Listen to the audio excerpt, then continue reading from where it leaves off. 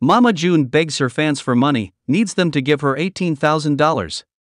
June Shannon, known for her appearances in reality TV shows, has experienced both highs and lows in her life. She gained fame in 2011 when she and her youngest daughter, Alana, starred in TLC's Toddlers and Tiaras. Since then, she's continued to enjoy the spotlight through various reality shows. Currently featured in her family reality show on WeTV, Mama June has faced financial struggles in the past and has reached out to her followers for support.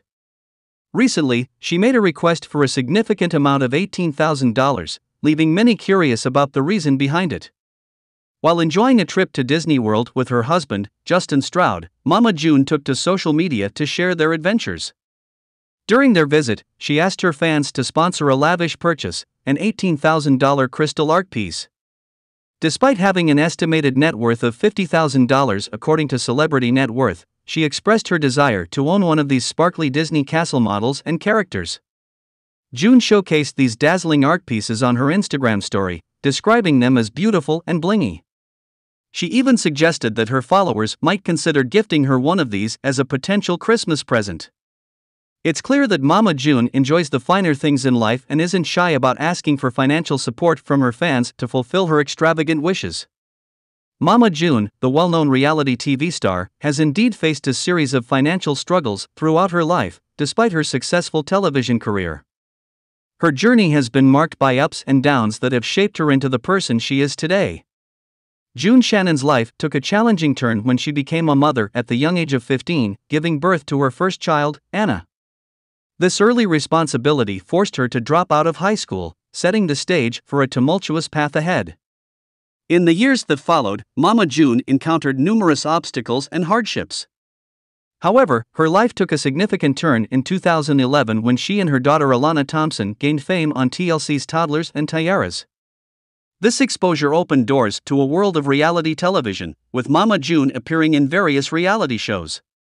Despite her career success, she continued to grapple with personal struggles, particularly her battle with addiction. In recent times, there has been a glimmer of hope in Mama June's life. She proudly declared her sobriety, having remained clean for over two years.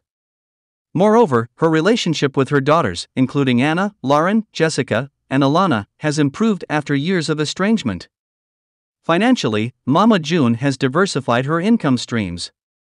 In the past, she earned a substantial income, reportedly $25,000 per month, for her show Mama June Road to Redemption. With the spin off series Family Crisis airing, her earnings were expected to increase.